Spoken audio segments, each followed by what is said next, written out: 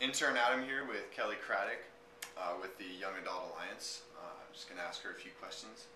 So, Kelli, how did the Young Adult Alliance get started? Sure. Back in 2006, Livestrong um, partnered with the National Cancer Institute to look at the issues surrounding adolescents and young adults and the cancer burden. And what we found was that a lot of times this population falls between the cracks, and so we wanted to address that. And so, together with the NCI, we put together a five year strategic plan that is basically the action plan, the strategic plan for the work of the Alliance. Okay, well, what is the Alliance? So, the Alliance is a coalition of about 140 organizations, and these member organizations run the full gamut from being medical institutions to government agencies, to small and large nonprofit organizations. Um, and we all have a common goal to improve survival rates and, and, and improve quality of life for adolescents and young adults with cancer. And a young adult in our eyes is aged between 15 and 40 years of age. And so, I don't know if people know this, but 70,000 young adults are diagnosed with cancer each year, and that's eight times more than those younger, than those that fall under 15 years of age. Um, and so, if you can imagine being a young adult, you fall in between the two worlds of the pediatric cancer and the adult cancer. And so, you could be a 28 year old sitting in a room full of people your grandparents' age getting treated for the same cancer or a similar cancer.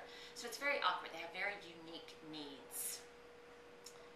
Okay. Well, what are you guys doing specifically to help this population?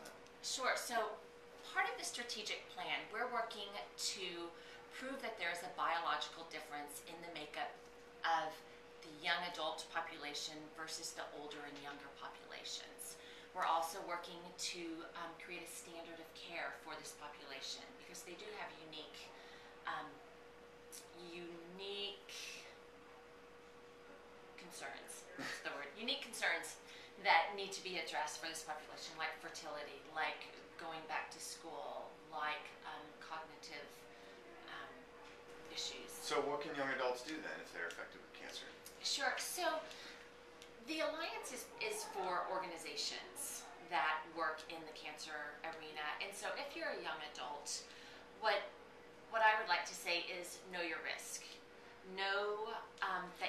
adults do get cancer. Know your family history. Know that if you think something is wrong, go get it checked out. Um, don't ignore unexplained changes in the way you look or feel.